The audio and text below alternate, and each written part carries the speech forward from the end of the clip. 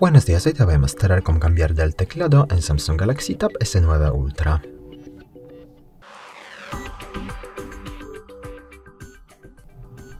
Para eso abrimos la aplicación Ajustes y aquí en Ajustes más abajo buscamos la pestaña Administración General. Luego pulsamos aquí eh, Ajustes de teclado Samsung porque es nuestro teclado actual y preinstalado, el teclado Samsung. Luego pulsamos Idiomas y tipos, la primera opción y pulsamos Administrar idiomas.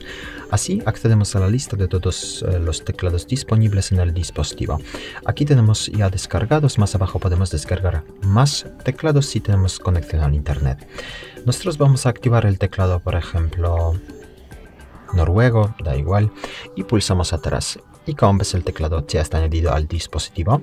Aquí más abajo puedes cambiar también método de cambio de idioma, por ejemplo seleccionar deslizamiento de la barra espaciadora.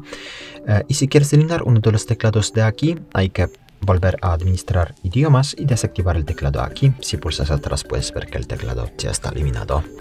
Muchas gracias por ver el vídeo, te comentario abajo y suscribirte al canal. Hasta luego.